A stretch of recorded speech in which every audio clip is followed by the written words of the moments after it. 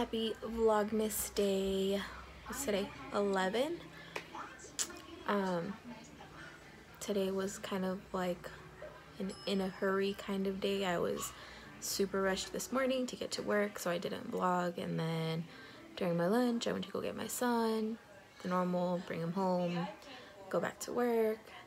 And yeah, I was just like in a hurry all day today. And then after work, I had to go to the store to buy some milk and, you know, all that good stuff. So it got kind of dark after I left the store, so I couldn't really vlog after either.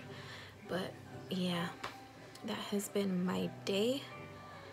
I'm sorry I didn't get to vlog a whole lot more. Um, the only like really exciting news is that another little beautiful baby was born and added to the family so I'm super excited for that and I can't wait to meet her um, but yeah, so my night is gonna consist of the usual baths, getting the kids ready. The kids have to go to daycare tomorrow. Naya's not excited, so we'll see how that goes.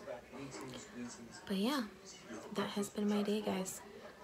I apologize, it's not a longer vlog, but I am gonna put it up to continue with Vlogmas. Um, but yeah, that was pretty much it. Work was pretty good. It was pretty slow, pretty chill wasn't too busy of a day. Um, but yeah, I think the thing I'm most excited about is to meet the new little baby. Whoa. To meet the new little baby. She's so cute and so big already.